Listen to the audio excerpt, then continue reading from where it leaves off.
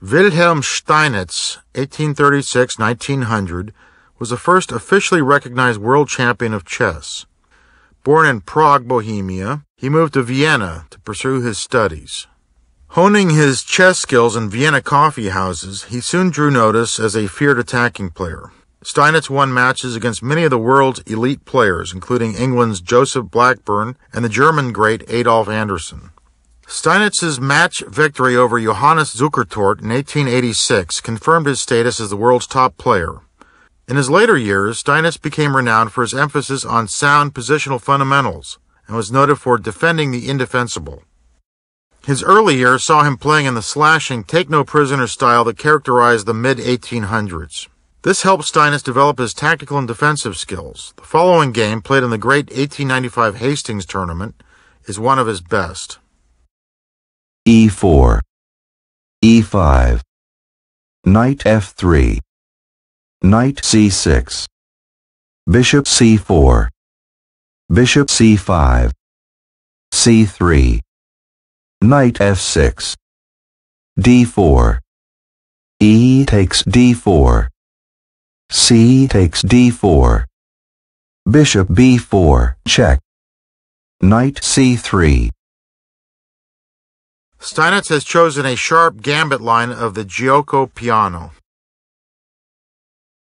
d5, This looks like a good move at first sight, but black soon has problems getting his king to safety.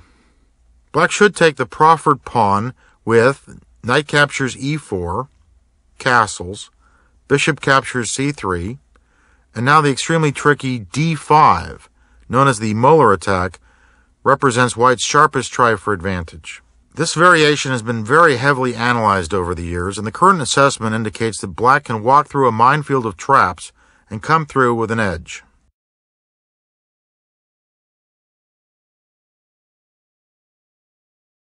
e takes d5, knight takes d5, castle kingside, bishop e6, bishop g5, bishop e7, bishop takes d5, bishop takes d5, knight takes d5, queen takes d5, bishop takes e7, knight takes e7, rook e1, f6, Black hopes to castle by hand by soon playing king f7, followed by rook f e8, and then king g8. Black has also prevented knight e5.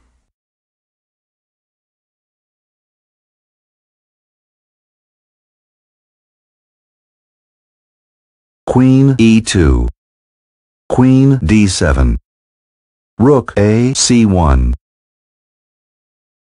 A more effective continuation was the centralizing move rook ad1, with one nice point illustrated after king f7, queen c4 check, knight d5, now the thematic shot knight e5 check, f captures e5, d captures e5, and black cannot meet the two threats of rook captures d5 and e6 check.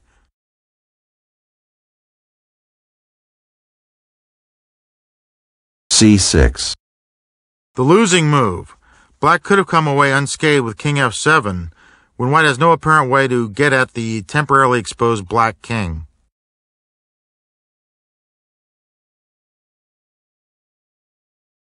D5, This is a beautiful clearance move that does three important things.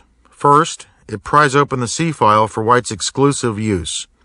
Second, the d4 square is vacated to make room for white's knight.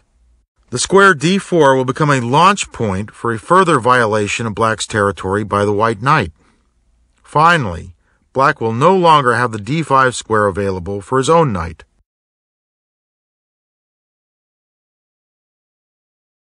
C takes d5, knight d4, king f7, knight e6, The white knight is incredibly strong here. Black must keep watch now over various weak points in his position. First, he must guard against rook c7.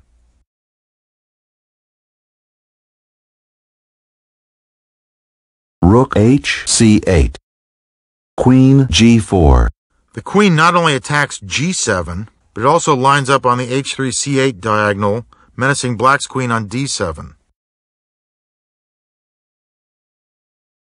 G6. With g6, von Bardeleben finds a very cunning defense. White has a seemingly simple combination now, but there is a small problem of his back rank. Knight g5 check, king to e8. Black must play this or loses queen.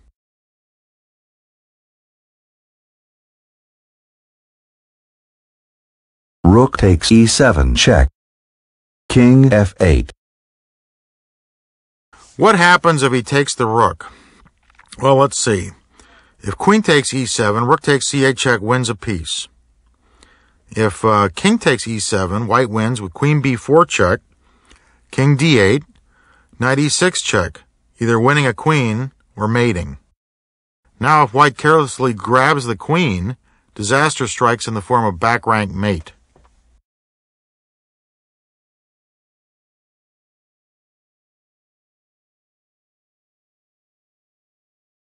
Rook f7 check.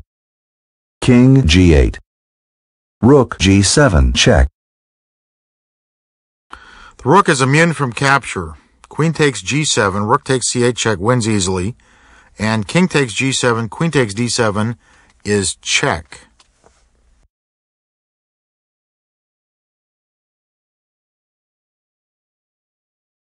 King h8. Rook takes h7 check. Steinitz has driven the black king across the back rank, and now this move forces it back again. The newly opened H file is the key to finally clinching the game. King g8. Rook g7 check. King h8. Queen h4 check. The star move. Black must finally take the intrepid rook. King takes g7. Von Bardeleben was not known for his strict observance of chess etiquette, and at this point he just left the chessboard without resigning. Anyway, Steinitz now announced that he had forced mate in eight moves. Queen h7 check. King f8. Queen h8 check. King e7. Queen g7 check. King e8. Queen g8 check. King e7. Queen f7 check. King d8. Queen f8 check. Queen e8. Knight f7 check. King d7. Queen d6 checkmate. A very pleasing game that featured sacrifices both large and small. The key shot was at clearance sacrifice 17 d5, which set the stage for the final assault on Black's king.